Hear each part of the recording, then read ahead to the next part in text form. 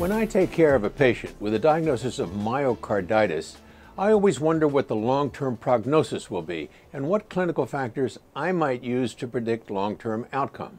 Now at JACC, researchers try to help with this problem. Their study evaluated the long term mortality in patients with viral myocarditis and looked at the prognostic value of various clinical, functional, and cardiovascular magnetic resonance parameters. They studied more than 200 consecutive patients with biopsy proven viral myocarditis and followed them for almost five years. Their primary endpoints were all cause mortality and cardiac mortality, and what they found is that patients had a striking mortality 19% all cause, 15% cardiac, and 10% sudden cardiac death.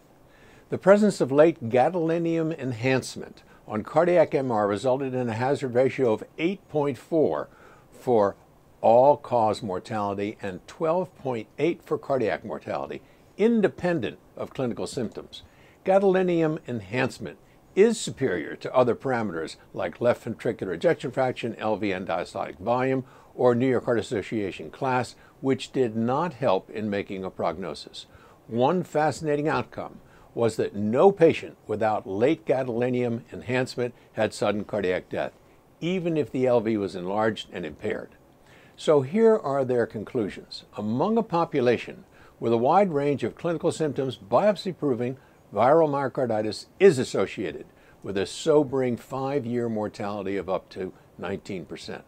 The presence of late gadolinium enhancement is the best independent predictor of all cause mortality and of cardiac mortality, and not surprisingly, an initial presentation with heart failure may be a predictor of incomplete long-term recovery.